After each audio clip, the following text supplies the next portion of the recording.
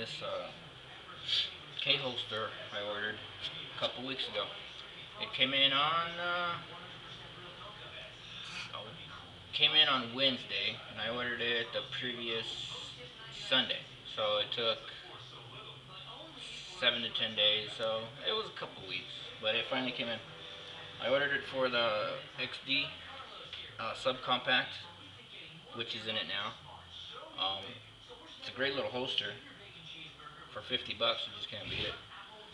Um, great quality leather, Kydex, metal clips. The one thing about it is very, very comfortable. I just, I couldn't believe how com comfortable it was. Yesterday when I got it home, I wore it pretty much all day. And then when I, no problems whatsoever. Um, really comfortable. That's, I gotta, I gotta give them that. One comfortable holster. Um, he or he sends it priority mail, quick as quick as he can get them out, and just like everyone else, he drops it in a in a Ziploc bag, which is pretty good idea.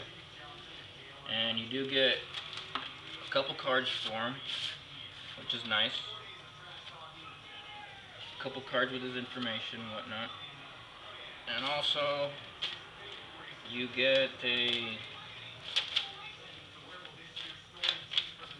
all the information, which is nice. It's all, it's no bullshit, just like, uh, just like everyone says, and uh, it's pretty nice. And you do get a rebate code if you ever wanted to use it. Order another one. What is it? You guys, you guys use my rebate code. You get 10% off, and I get 25% on my next purchase. Which I don't think I'll be ordering another one anytime soon, unless this one just wears out. I really doubt that. Um, I only have two pistols or handguns right now.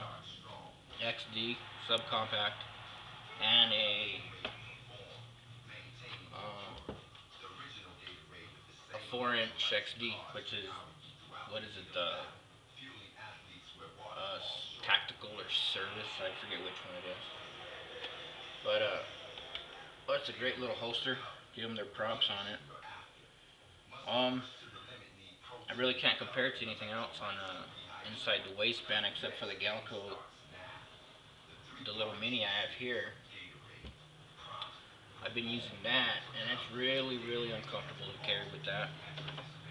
So, uh, wish I can compare it to a CrossBreed Super Tuck. That would be nice, because it's pretty much identical to that. Except for the CrossBreed is more finished leather. That's the only difference that I can see in the videos. Um, and the price, that's twice the price, which this one here I can do whatever I want with it. Paint it, dye it, whatever. Which I don't think I'll be doing anything. I'll just keep it as is and just wear it till it wears out. Then I'll just order another one. There's my rebate code if you want to use it. Uh, 08 uh, 5455. That'll be my rebate code, so use it if you want it. Um, I will be doing another video on my rifle pretty quick here. I got it built up this morning because I painted the stock on it. So I'll be posting another video ASAP on that. Alright, you guys have a good uh, Saturday afternoon, and I'll see you guys later.